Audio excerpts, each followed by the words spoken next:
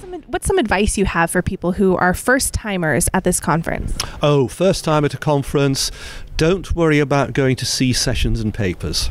The real value of a conference, especially one like this, is meeting people and networking and actually making sure you meet the people you want to meet to speak to and actually making sure that people know who you are as well. Mm-hmm. It's those networks that you make, those connections you make with people, which will stand you in good stead in your future career as people get get to know you.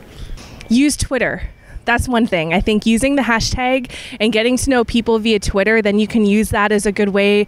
You know, if you're trying to find someone to eat lunch with or eat dinner with, you can use the hashtag, and that's a good way to network. The sessions are are the key. That's kind of why we're here. But I think networking is is is going to be a really a good opportunity is to you know get around the the stands and and have a chat with people and yeah get get stuck into the networking side of things as well. Well, it is quite confusing, and EAA, as you will know, is a huge conference now. I think you need to spend a good 10 or 15 minutes with the uh, timetable and the maps and try and work out where you want to go, and then just keep asking people. Do your homework, um, look at the book, decide what you want to see, try to figure out where the buildings are located. You may end up having to give up one or two of your first choices to hit your second and third choice, or vice versa. So um, be really ready to run from one session to another. And my tip is to uh, walk outside of being the professional archaeologist and enjoy the location and the culture and uh, to meet people and to take advantage of the social events as well. Don't, don't take things too seriously. Um, nip in and out of sessions, um, you know, see what uh, sparks interest, and that's what I do.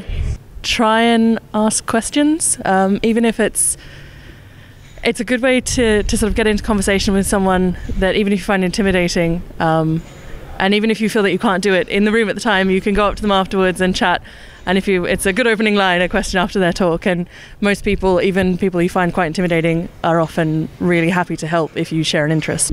I don't know, like it's quite nerve wracking when you first give a presentation or have to walk into a group of people that you don't know for the first time, but everyone is very nice and everybody is in exactly the same boat, so it's best to just remember that and go for it anyway. And pick your sessions wisely, but don't forget you can dip in and out and move, switch sessions, uh, and try and uh, use your time to do networking and speak to people because it's really valuable that, that time between the sessions when you get to chat with people try to read all the abstracts before you arrive.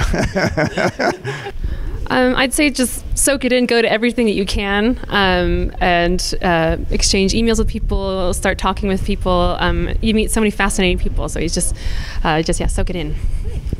Yeah, just spend a lot of time with the program. Make sure you don't miss what you really want to go to. Go to everything clone yourself, go to everything.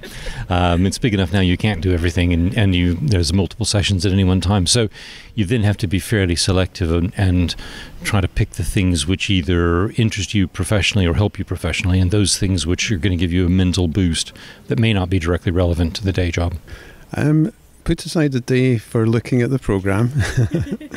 Have a think about what you really want to get out of it. Probably don't try and do too much, and uh, enjoy yourself in the in the social events as well.